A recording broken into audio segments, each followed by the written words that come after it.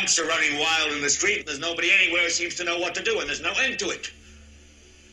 We know the air is unfit to breathe, and our food is unfit to eat.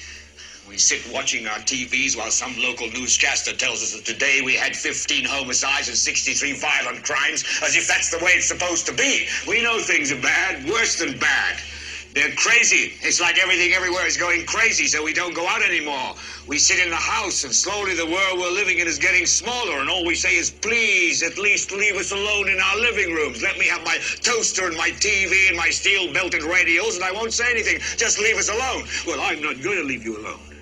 I want you to get mad.